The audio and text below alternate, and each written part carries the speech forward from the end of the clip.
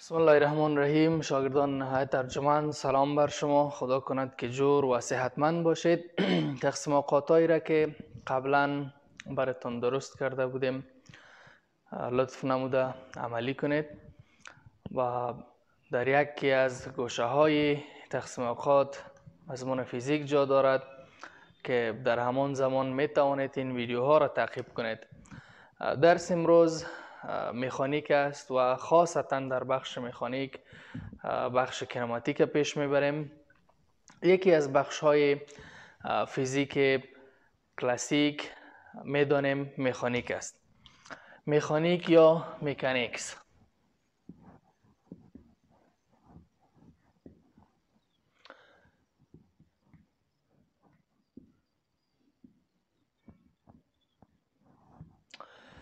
مکانیک یا مکانیکس از تیوری مکانیکی بحث می کند از تیوری مکانیکی بحث می کند مفهوم این تعریف چیست؟ از تیوری مکانیکی یعنی چی؟ تیوری مکانیکی مثلا مسائل مرتبط به مسائل مرتبط به حرکت و سکون. یعنی در لغت به معنای مکانیک در لغت به معنای حرکت است. پس مفهوم این تعریف که از تیوری مکانیکی بحث می‌کند یعنی مسائل مرتبط به حرکت و سکون را مطالعه می‌کند. چون مکانیک یک شاخه بزرگ است بنابراین به دو قسمت تقسیم گردیده یک کینماتیک دو دینامیک. یک. کینماتیک یا علم الحرکت؟ علم الحرکت. دو. دینامیک یا علم القوه؟ علم القوه. ببینین کینماتیک فقط و فقط چون علم الحرکت است از حرکت و سکون اجسام بدون علت بحث می کند یعنی بدون قوه بحث می کند اما دینامیک چون علم القوه است از حرکت و سکون با علت بحث می کند که علت آن قوه می باشد کنماتیک بسیار به طور خلاصه تعریف می کنیم از حرکت و سکون اجسام بدون علت. یعنی بدون قوه. بدون قوه. بحث می‌کند. و دینامیک از حرکت و سکون اجسام با علت. یعنی با قوه. بحث می‌کند. و هر دو بخش مکانیک است. یعنی مکانیک از حرکت و سکون اجسام. بدون علت یعنی بدون قوه. و با علت یعنی با قوه بحث می‌کند. اما کنماتیک حرکت و سکون را بدون علت مطالعه می‌کند و دینامیک حرکت و سکون اجسام را با علت یعنی قوه مطالعه می کند به طور مثال اگر گفته شود که یک متحرک مثلا یک موتر با سرعت اولیه وی صفر در حرکت است اما علت آن واضح نگردد پس این کینماتیک شد. اما اگر گفته شود که یک متحرک تحت تاثیر قوه F در حال حرکت است این یعنی دینامیک. چون در بخش دوم علت آن را یعنی قوه را ذکر کردیم. دینامیک خود یک مبحث بزرگ است و به دو بخش تقسیم گردیده. بخش اول آن ستاتیک و بخش دوم آن سینتیک است. ستاتیک از سکون اجسام بحث می کند و سینتیک از حرکت اجسام بحث می‌کند. یعنی در دینامیک ما می‌بینیم که هم حرکت است motion است و هم rest است. بخش استاتیک دینامیک از سکون یا از rest بحث می‌کند و بخش سینتیک از حرکت یا از motion بحث می‌کند. اما در هر دو حالت تاثیر قوا وجود داره یعنی تحت تاثیر قوا از سکون بحث می‌کنه و تحت تاثیر قوا از حرکت بحث می‌کنه این شد تقسیم بندی مکانیک. ما در این بخش کنماتیک می‌خوانیم. در این ویدیو مبحث اساسی ما بخش کنماتیک است.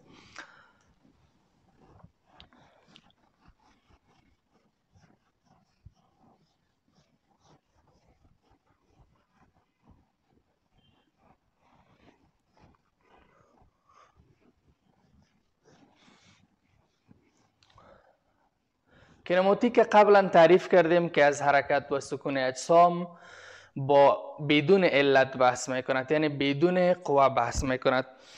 دو کلمه یا دو اصطلاح یا دو کمیت بسیار مهم در کنماتیک حرکت و سکون است. ببینیم که حرکت و سکون چیست. حرکت و سکون. دو کلمه بسیار مهم در کنماتیک حرکت و سکون است.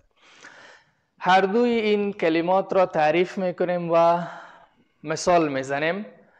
اول حرکت. حرکت چیست؟ هرگاه موقعیت یک جسم نظر به اشیای ماحول یا چهار طرف تغییر کند گفته می‌تونیم که این حالت به نام حرکت یاد می شود و خود جسم متحرک نامیده می شود به طور مثال موقعیتم در اینجاست و نظر با اشیای ماحول چهار طرف چیزی که می‌بینین ما اگر موقعیتم تغییر کند پس من متحرک و حالتم حرکت گفته میشه. ببینین موقعیت تغییر کرد بنابراین من متحرک و حالتم به نام حالت حرکت یاد میشه. چون نظر با اشیای ماحول تغییر کرد. برعکس قضیه اگر موقعیتم نظر با اشیای ماحول تغییر نکند مثلا فعلا ثابت هستم. فعلا ثابت هستم.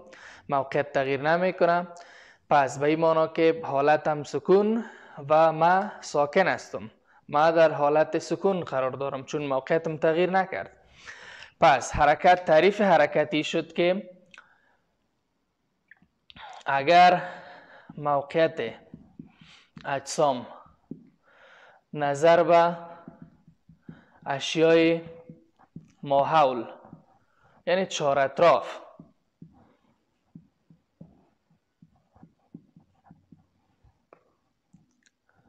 تغییر کند. به نام حرکت و جسم به نام حرکت یاد می شود. البته جسم میگیم. جسم متحرک جسم متحرک به مثال یک جسم اینجا وجود دارد در موقعیت A موقعیتش است ای جسم با یک سرعت V حرکت می‌کنه و موقعیت این جسم به نقطه B می‌رسه پس این جسم جسم متحرک شد متحرک حالتش حالت چی شد؟ حرکت شد. چون از نقطه A به نقطه B تغییر موقعیت داد. نظر به اشیای ماحول. سکون یک حالت خاصی از حرکت گفته می‌تونیم که سکون یک حالت خاصی از حرکت است. یعنی در اصل حرکت وجود داره اما سکون یک امر نسبی است. اما حرکت تقریبا گفته می‌تونیم که مطلق است. برعکس تعریف را گوش کنید. برعکس تعریف اگر موقعیت مثلا یک جسم موقعیت یک جسم نظر به اشیای ماحول تغییر نکند به نام سکون. یاد می شود یا سکون نامیده می شود جسم ساکن گفته میشه. یعنی جسم ساکن است. فرض مثال. همه ما همه اشیای این سنف و همه موجودات روی زمین اگر حرکت نداشته باشند یعنی موقعیتشان نظر به اشیای ماحول تغییر نکند اما با کره زمین در حال حرکتند. پس به این معنا که حرکت وجود داره. اما زمانی که میگیم جسم ساکن است نظر به اشیای ماحول محاسبه یا سنجیده می شود پس سکون نسبی و حرکت مطلق است. تقریبا البته مطلق است. پس تعریف سکونی شد که اگر موقعیت یک جسم نظر به اشیای چهار طرف مثلا ما ثابت هستم ساکن هستم موقعیتم نظر به اشیای ماحول تغییر نمی کند. پس که تغییر نمی کنه به این که ما در حالت سکون قرار دارم و خودم ساکن هستم. این شد دو تعریف بسیار مهم برای دو اصطلاح فیزیک که حرکت و سکون است. به تعقیب این انواع حرکت را می‌خوانیم که در فیزیک چند نوع حرکت وجود داره. بعدا فاصله و تغییر مکان را تعقیب می‌کنیم.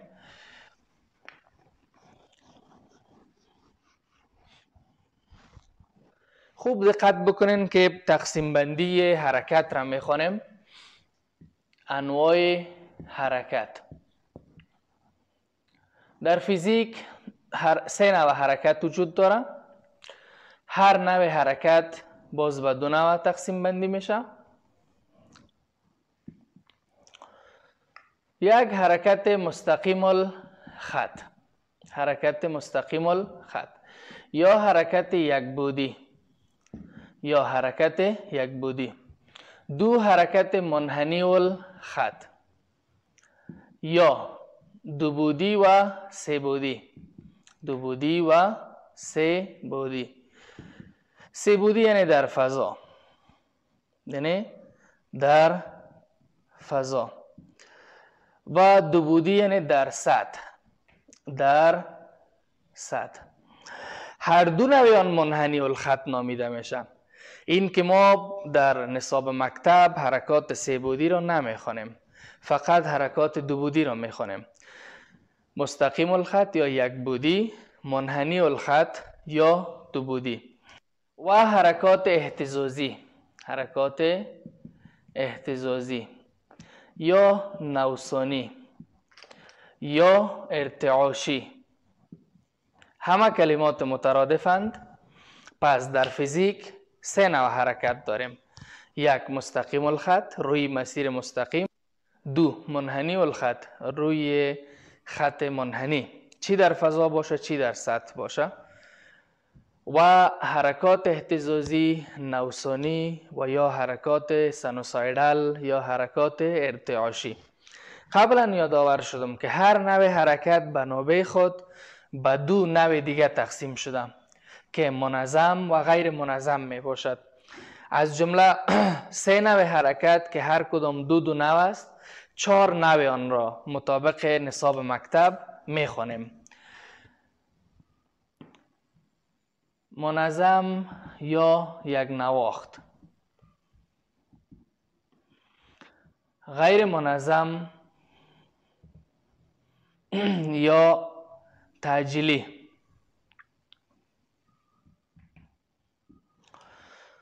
حرکت منحنی الخط نیز به دو دسته تقسیم می گردد منظم یا دایروی؟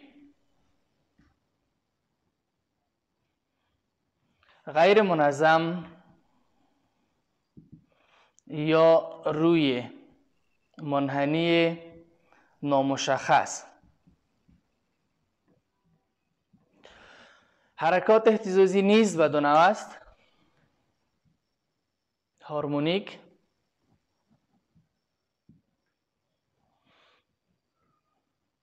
یا منظم.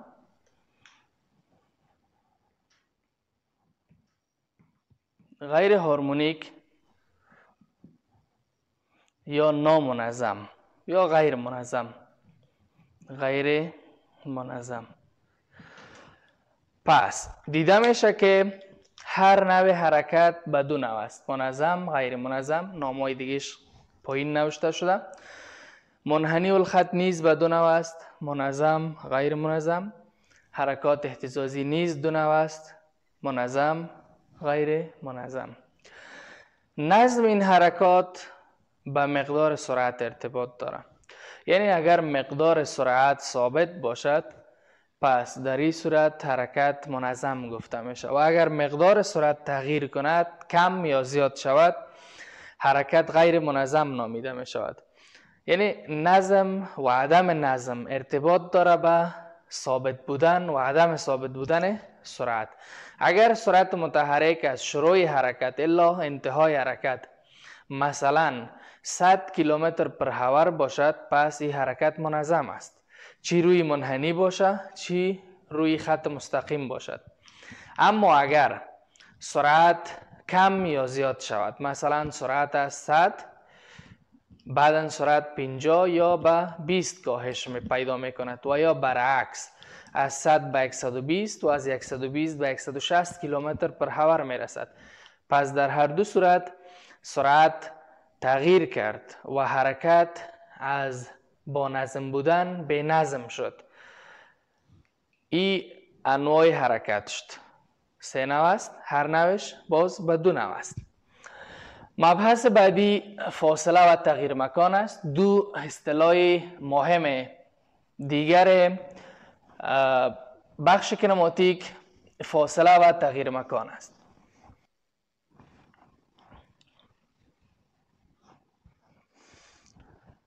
یکی ما دیستنس داریم و دیگر دیسپلیسمنت داریم. فاصله و تغییر مکان. تفاوتی که بین اینها وجود داره هم از لحاظ جهت و هم از لحاظ علامه ریاضیکی است. فاصله چیست و تغییر مکان چیست؟ فاصله و تغییر مکان. فاصله کمیت تغییر مکان. فاصله کمیت اسکالری است یعنی بدون جهت می باشد. فاصله کمیت اسکالری است. در حالی که تغییر مکان کمیت ویکتوری است. یکی از تفاوت ها میان این دو است که ای دارای بدون جهت می باشه و ای دارای جهت می باشه. یعنی اسکالر است و ای وکتور است. یعنی اگر ما فاصله را نشان بتیم فاصله را قسم نشان میتیم d یا x. در حالی که اگر تغییر مکان نشان بتیم با یک وکتور نشان میتیم یعنی هم مقدار داره و هم جهت در حالی که تنها مقدار داره جهت نداره. تفاوت دیگر این که فاصله فقط و فقط قیمت های مثبت گرفته می‌تواند. یعنی اشارهش همیشه مثبت است. اشاره الجبری. در حالی که در تغییر مکان اشاره الجبری می‌تواند مثبت باشد می‌تواند منفی باشد و یا صفر. به طور مثال زمانی که از فاصله صحبت می‌کنیم یا سخن می‌زنیم فاصله همیشه مثبت است. فاصله همیشه علامه مثبت دارد. در حالی که تغییر مکان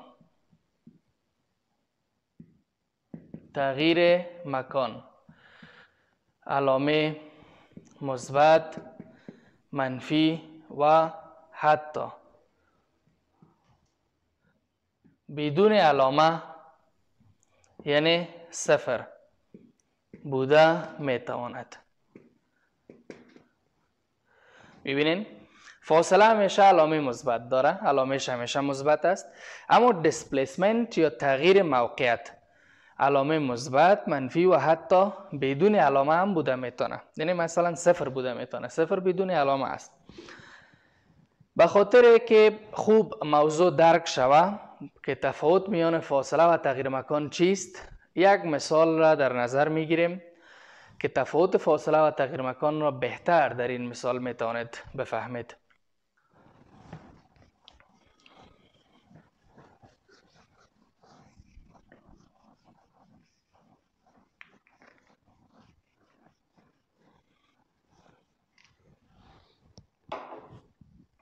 فرض بکنین یک متحرک را روی یک مسیر در نظر می‌گیریم و مقدار فاصله و تغییر مکان آن را مطالعه می‌کنیم. به طور مثال یک مسیر دایروی است و یک متحرک را در نقطه A در نظر می‌گیریم. این متحرک به طور مثال در نقطه B قرار می‌گیره و بعدا به نقطه A بازگشت می‌کند. شما دقت بکنین تقریبا این نصف دایره است اگر این مرکز دایره باشه. این نیم دایره پای آر و این نیم دایره هم پای آر است. این مرکز دایره شد. از نظر طول یا از نظر فاصله این مسیر پای آر است. و این مسیر نیز پای آر است. چون تمام محیط دو پایار میشه. حالا با فرض این که متحرک از نقطه A شروع به حرکت می‌کنه و به نقطه B می‌رسد و دوباره از نقطه B به نقطه A می‌رسد. یک رفت داریم و یک برگشت داریم. ایره میگیم رفت و ایره میگیم برگشت.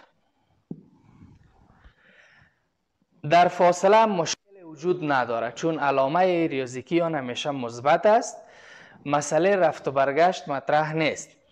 اما در مسئله تغییر مکان می توانیم رفت را مثبت برگشت را منفی فرض کنیم. یا برعکس مثلا می توانیم رفت را منفی آمد یا برگشت را مثبت قبول کنیم. حال اگر بخواهیم فاصله روی محیط دایره را در نظر بگیریم d یا x مساوی می شود پای آر رفت است. مثبت پای آر آمد است. کی میشه دو پای آر پس مقدار فاصله دو پایار شد. مقدار فاصله دو پایار شد. فاصله که متحرک طی می‌کنه و پس بازگشت می‌کنه این دو پایار است. در حالی که اگر تغییر مکان را در نظر بگیریم مقدار تغییر مکان چون دی با وکتور یا x.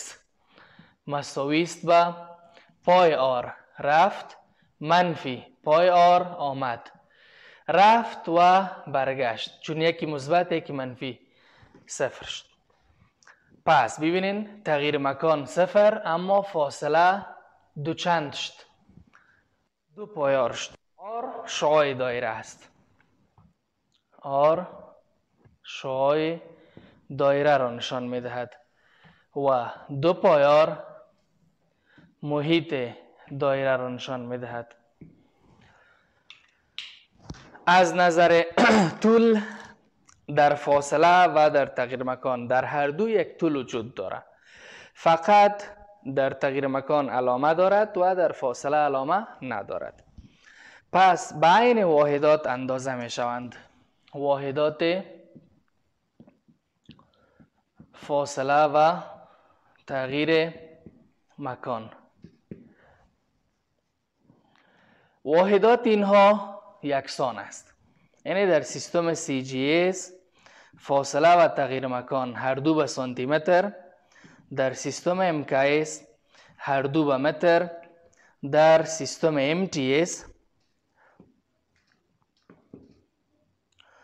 هر دو به متر و در سیستم FPS نیز هر دو به فوت اندازه می شوند پس از نظر واحدات اصلا تفاوت میان فاصله و تغییر مکان وجود ندارد. موضوع تغییر مکان خیلی مهم است. در بخش کنماتیک فاصله زیاد مهم نیست اما تغییر مکان خیلی مهم است. چون بر رویت تغییر مکان سرعت را تعریف می‌کنیم و بر رویت سرعت تعجیل را تعریف می‌کنیم. ما در تمام کنماتیک سه اصطلاح مهم و برجسته داریم. اصطلاح اول تغییر مکان است. اصطلاح دوم سرعت و اصطلاح سوم یا کمیت سوم تعجیل یا شتاب است. تمام کنماتیک روی همین سه مسئله یا سه کمیت یا سه اصطلاح میچرخد. بران خوب است که بعد از فاصله و تغییر مکان تعریف به سرعت و تیزی داشته باشیم. اما قبل از آن فرمول تغییر مکان را می‌کنیم که تغییر مکان یک فرمول بسیار ساده و کوتاه دارد.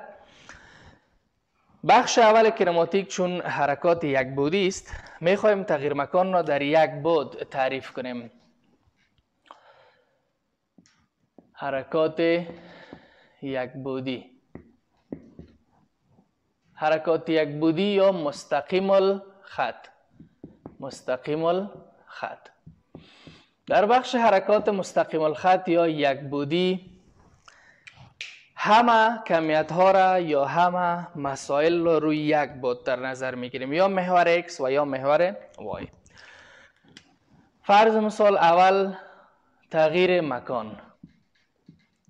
مبحث تغییر مکان را روی یک بود در نظر می‌گیریم. به طور مثال محور x با محور y مبدا فرض بکنین که حرکت از نقطه او آغاز شده یا شروع شده و اینجا یک متحرک وجود داره در مبدا بیاین را مبدع مکان نامگذاری کنیم مبدع مکان. بعدا وقتی روی حرکت صحبت می‌کردیم روی مدل حرکت اونجا باز این نقطه را میگیم مبدع مکان و زمان.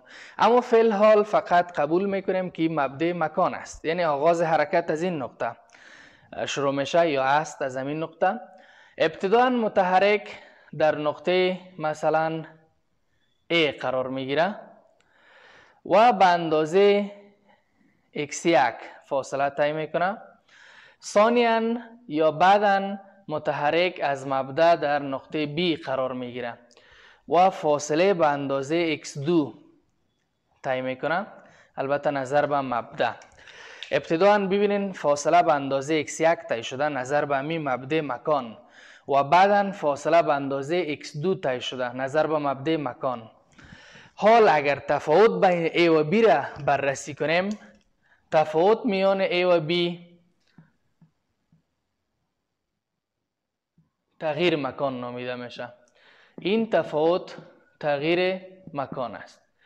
و این تغییر مکان را به دلتا x نشان میتیم دلتا x. دلتا x یعنی x2 منفی x1 اگر از تمام فاصله این فاصله تفریق شد و این فاصله میشه دلتا x. دلتا x یعنی تغییر در x. تغییر در x مفهوم دلتا x تغییر در x و این تغییر بزرگ نشان می‌دهد تغییر بزرگ تغییر بزرگ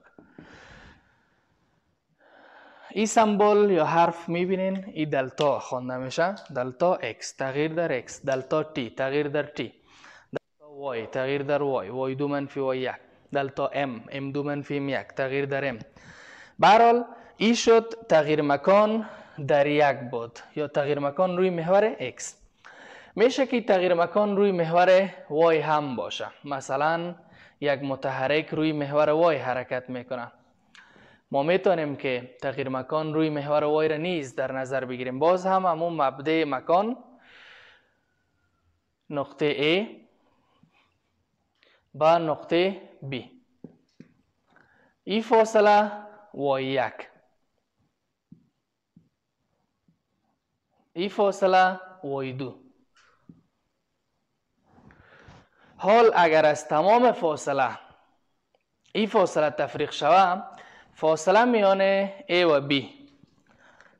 دلتا Y میشه تغییر در Y. Y دو منفی Y یک این میشه تغییر در Y.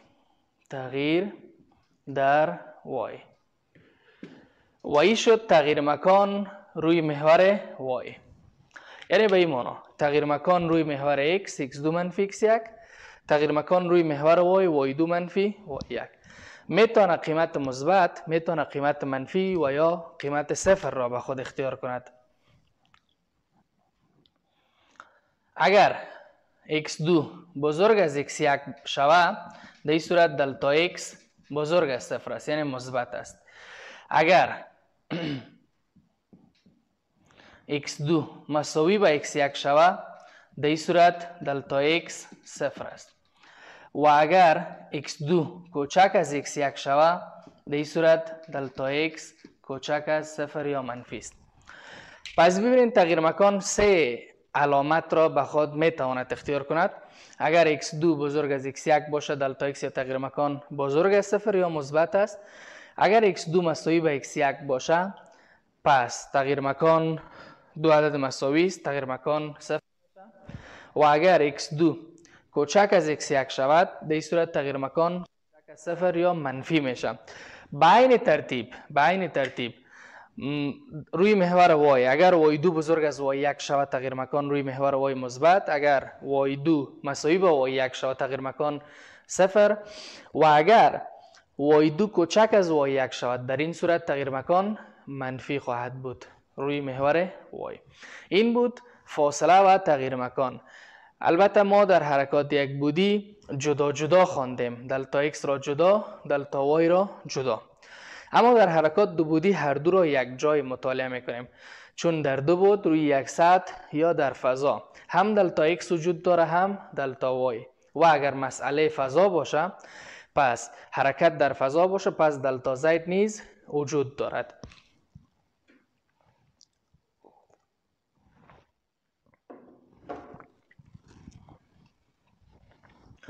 مبحث بعدی ما سرعت و تیزی است. تیزی یا سپید سرعت یا ولسیتی این دو اصطلاح نیز از هم تفاوت دارند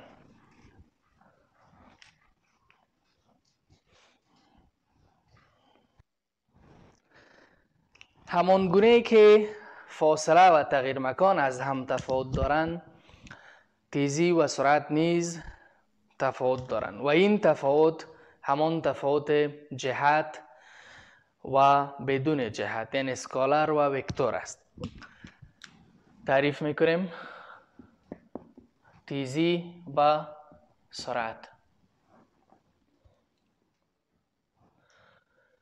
سپید و ولسیتی تیزی و سرعت چی تفاوت دارند در ابتدا میگیم که تیزی کمیت سکالری است تیزی کمیت سکالری است یعنی فاقد جهت است جهت ندارد. اما سرعت کمیت ویکتوری است. یعنی دارای جهت می باشه به طور مثال هرگاه یک متحرک سرعت 100 کیلومتر بر هور در حرکت باشد تیزی فقط همین 100 شد. اما سرعت متحرک نیز با مقدار 100 اما جهت آن باید مد نظر گرفته شود. یا جهت آن مورد بحث است. مثلا جهت آن به طرف شمال است جهت آن به طرف شرق است به طرف غرب است و یا به هر زاویه دیگر. بسیار خلاصه میگیم که تیزی از نسبت فاصله و زمان محاسبه میگردد. اما سرعت از نسبت تغییر مکان و زمان محاسبه میگردد. سپید به S یا به V بدون وکتور نشان داده میشه و مساوی میشه به D بر T یا X بر T یعنی نسبت فاصله و زمان فاصله به نام تیزی یاد میشه. ببینین این وکتور نداره. وکتور نداره به این معنا که سکالر است. فاصله تقسیم زمان تیزی شد و سرعت با V یا به S نشان داده میشه. که مساوی میشه به D تغییر مکان. تقسیم T. یا X تقسیم T. ببینین این نسبت تغییر مکان و زمان. و ای را میگیم سرعت. پس فاصله تیزی نسبت فاصله و زمان شد و سرعت نسبت تغییر مکان و زمان شد. دیگه تفاوت وجود نداره. از نظر واحدات یکسان هستند مشکل وجود نداره اما تفاوت صرف اینجاست که scalar تقسیم scalar scalar.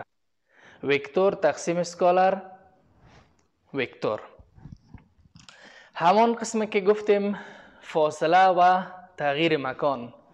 از نظر علامه ریاضیکی تفاوت دارن. اینها یعنی تیزی و سرعت نیز همین تفاوت را دارند سپید یا اس همیشه مثبت است همیشه بزرگ از صفر است. اما سرعت می تواند مثبت باشه بزرگ از صفر.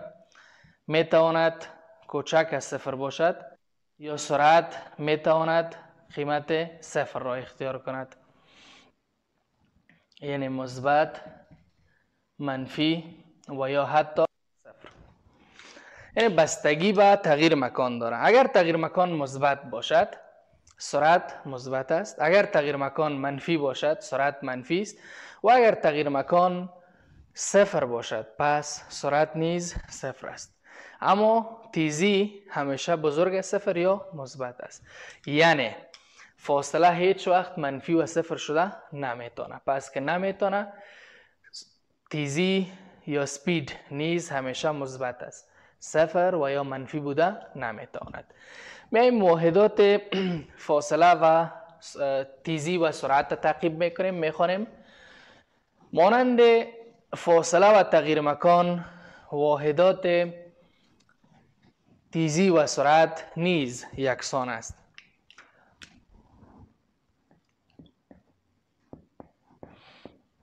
واحدات تیزی و سرعت.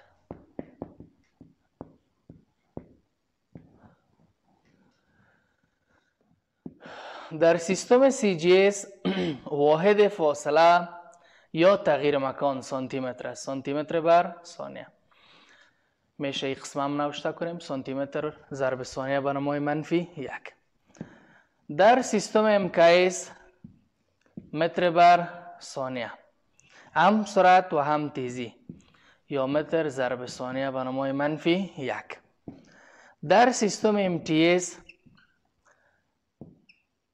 باز هم متر بر ثانیه. متر ضرب ثانیه به نمای منفی یک. و در سیستم FPS فوت بر ثانیه. یا فوت ضرب ثانیه به نمای منفی یک. پس از نظر واحدات کاملا یکسانند. هیچ تفاوت وجود نداره. سانتی متر بر ثانیه واحد تیزی و سرعت در سیستم CGS در سیستم MKS واحد تیزی و سرعت متر بر ثانیه. در سیستم MTS واحد سرعت و تیزی متر بر ثانیه است و در سیستم FPS واحد تیزی و سرعت فوت بر ثانیه است. این دو اصطلاح نیست تمام شد. موضوع بعدی.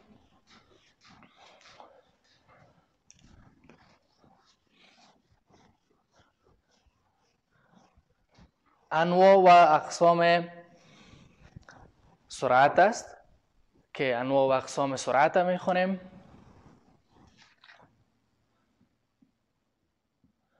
انواع سرعت. دو نوع سرعت را اینجا می خونیم سرعت متوسط و سرعت لحظه ای سرعت لحظه ای average velocity و instantaneous velocity یا سرعت لحظه ای سرعت متوسط را در سه حالت می‌خونیم یک. سرعت متوسط میان دو لحظه یا دو نقطه. سرعت متوسط در تمام مسیر و سرعت متوسط از جنس سرعت اولیه و نهایی. سرعت متوسط در چند حالت مطالعه می گردد؟ در سه حالت. میان دو لحظه یا دو نقطه مشخصا در تمام مسیر و از جنس سرعت اولیه و سرعت نهایی. اول میایم به سرعت متوسط میان دو لحظه یا میان دو نقطه. فرض بکنین سرعت را میان دو لحظه یا دو نقطه می‌خوانیم اول الجبری تشریح می‌کنیم یعنی از نظر فرمول و معادله پیش میریم و بعدا مبحث را به گونه رسم یا هندسی یا تحلیل هندسی تشریح می‌کنیم. فرض بکنین که فاصله طی شده یک متحرک بعد از زمان t1 x1 و بعد از زمان t2 x2 است. حال اگر بخوایم که سرعت متوسط را فقط و فقط میان این دو لحظه پیدا کنیم در این صورت وی بار ای وی بار خوانده میشه وی بار. وی بار مساوی است با x2 منفی. X1 بر t2 منفی t1 سرعت متوسط میان دو لحظه لحظه t1 t2 یا میان دو نقطه مثلا a و b. X2 منفی x1 t2 منفی t1 قبلا گفتیم که تغییر در x را دلتا t دلتا x می نامیم و تغییر در t را دلتا t می نامیم پس سرعت متوسط میان دو لحظه یا دو نقطه. دلتا x بر دلتا t است. یا x2 منفی x1 بر t2 منفی t1 قبلا یادآور شدیم دلتا تغییر معنا میده و این تغییر تغییر بزرگ است. دلتا x تغییر بزرگ در x. دلتا t تغییر بزرگ در t. یعنی انتروال زمانی ما اینجا بزرگ است. کوچک نیست. انتروال زمانی معنا میده. انتروال زمانی. و این انتروال زمانی بزرگ است. کوچک نیست. پس سرعت در انتروال بزرگ زمانی. سرعت متوسط نامیده میشه. و این یک نوع یا یک حالت از سرعت متوسط است. یعنی میان دو نقطه یا میان دو لحظه است. نوع دوم در تمام مسیر است. هرگاه خواسته باشیم از نقطه A الا نقطه B در تمام مسیر سرعت را محاسبه کنیم خلاف این فرمول محاسبه میگردد. و عوض تفریق جمع می‌کنیم.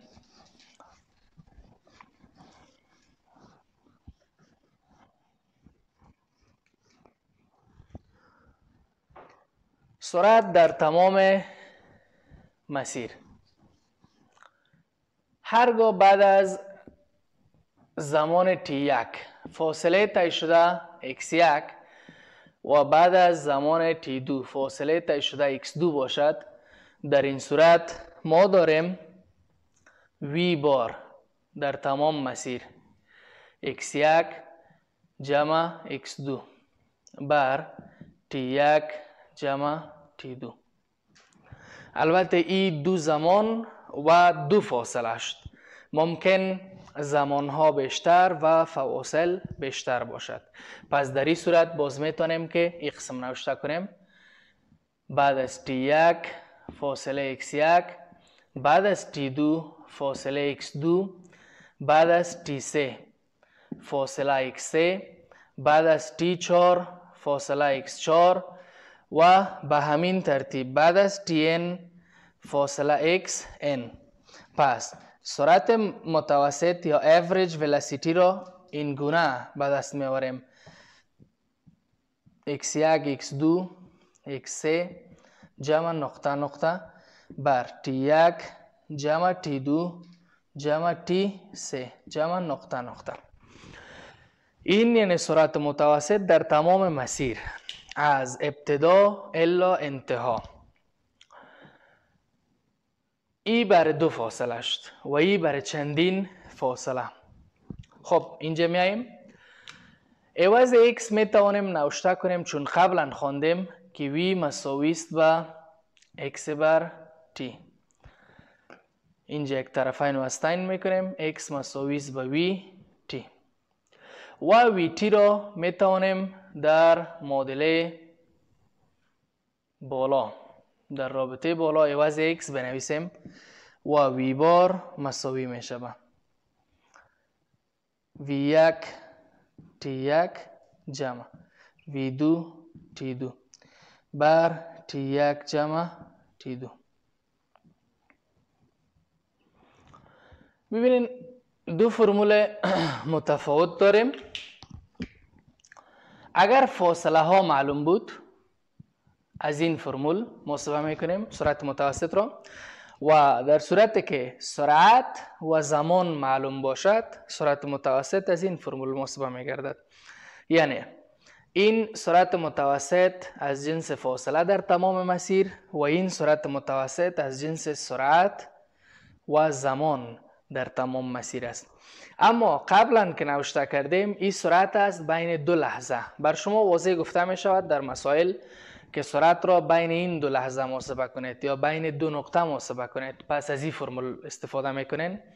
و اگر سرعت در تمام مسیر خواسته شود هدف ما تمام مسیر باشه یا ای فرمول یا ای فرمول استفاده میگردد نوع سوم سرعت متوسط یا حالت سوم سرعت متوسط سرعت است که هرگاه یک متحرک سرعت را با وی صفر آغاز کند و با وی به پایان برساند یعنی سرعت اولیه و نهایی. در این صورت سرعت متوسط اوسط حسابی هر دو سرعت محاسبه می گردد یعنی وی بار مساوی است با وی صفر جمع وی تقسیم دو. اینجا وی صفر سرعت اولیه است.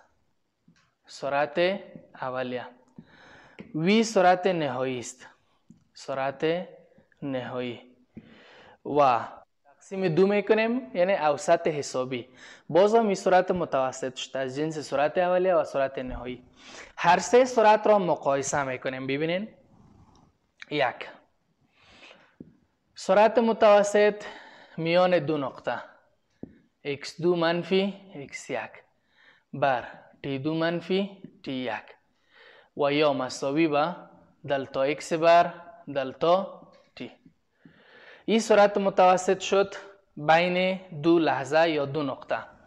دو. سرعت متوسط در تمام مسیر x1 جمع x2 بر t1 جمع t2 و سرعت متوسط از جنس سرعت اولیه و سرعت نهایی v صفر جمع v تقسیم دو. پس ما به خاطر سرعت متوسط سه فرمول داریم. بین دو نقطه یا دو لحظه در تمام مسیر و از جنس سرعت نهایی و اولیه. میان دو لحظه. در تمام مسیر و از جنس سرعت اولیه و نهایی. پس این سه نوع سرعت شد. سرعت متوسط بین دو لحظه در تمام مسیر از جنس سرعت نهایی و سرعت اولیه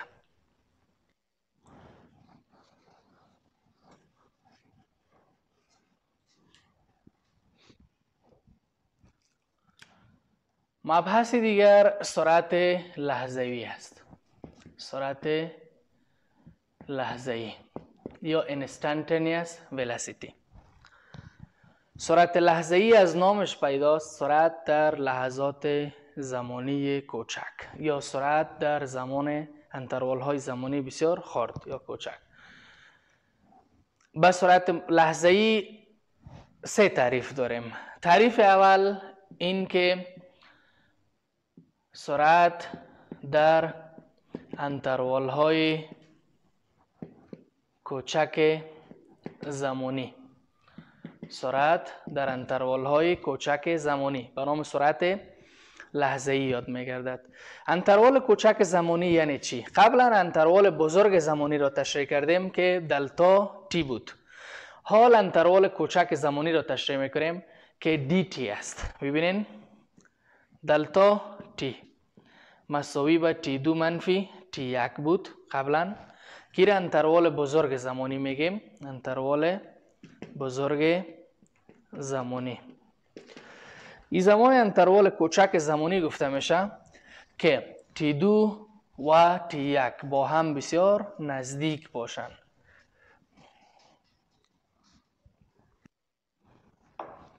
یعنی چی مانا اگر تی دو به تی یک نزدیک شوه یعنی تقرب کنه. تی دو تقرب کند به تی یک دلتا تی تقرب می‌کند به صفر. یعنی اگر تی دو به تی یک نزدیک شوه تفاوت هر دو یعنی تی دو منفی تی یک که دلتا تی است ای تقرب به صفر می‌کنه. ای انتروال کوچک زمانی است انتروال کوچک زمانی. حال یا باید انترول کوچک زمانی را این گونه نمایش بدیم که تی دو تقرب می‌کنه به تی یک یا دلتا تی تقرب می‌کنه یا نزدیک میشه به صفر. اما می توانیم عوض تی دو تقرب به تی یک و دلتا تی تقرب به صفر انترول زمانی کوچک را به این گونه نشان بدیم.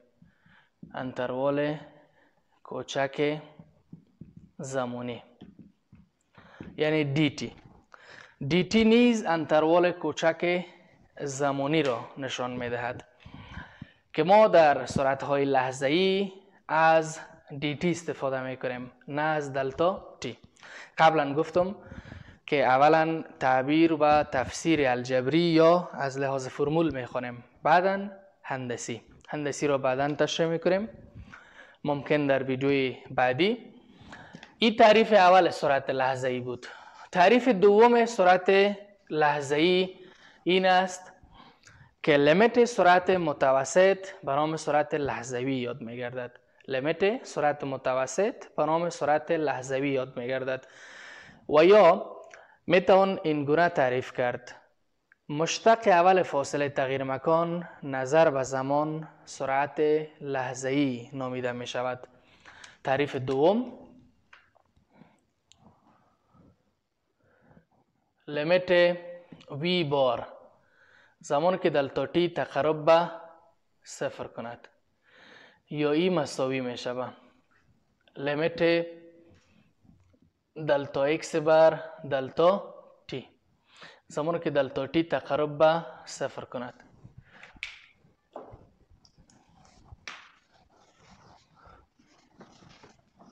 و این گونه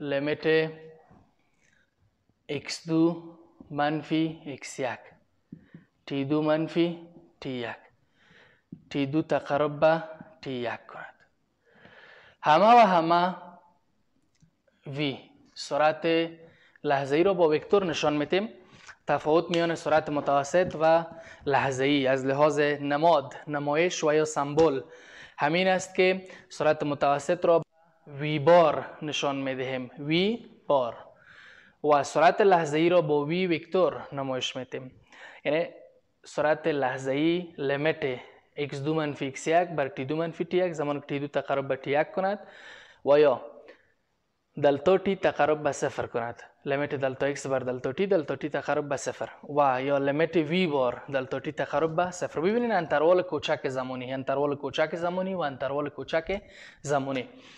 تعریف سوم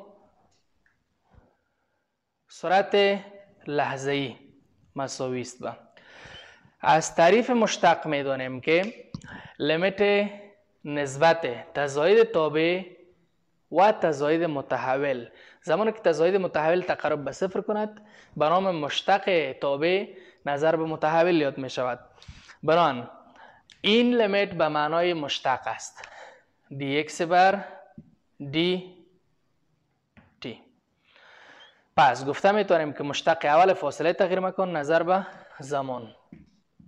مشتق اول فاصله تغییر مکان نظر به زمان. تکرار می‌کنیم. یک تعریف اول سرعت متوسط. این بود که سرعت لحظوی که سرعت در انتروال کوچک زمانی به نام سرعت لحظوی یاد میگردد یا لحظه‌ای یاد میگردد. تعریف دوم لیمیت سرعت متوسط و نام سرعت لحظه ای یاد میگردد و تعریف سوم مشتق اول فاصله تغییر مکان نظر به زمان سرعت لحظوی نامیده می شود. لیمیت سرعت متوسط. به نام سرعت لحظه ای یاد میگردد پس سه تعریف شد. تعریف اول لیمیت سرعت سرعت در انترول کوچک زمانی. تعریف دوم لیمیت سرعت متوسط. و تعریف سوم مشتق اول فاصله تغییر مکان نظر به زمان. در ویدیوهای بعدی مفهوم یا تعبیر dx بر dt را از نظر معادله و از نظر گراف تشریح می‌کنیم. و همچنان مفهوم دلتا t تقرب به صفر یا limit دلتا x بر دلتا t رو نیز به طور هندسی یا تعبیر هندسی تشریح می‌کنیم. تا ویدیوی بعدی خداوند یار و مددگارتان. خدا حافظ متوجه درسا و متوجه صحتتان باشید. خدا حافظ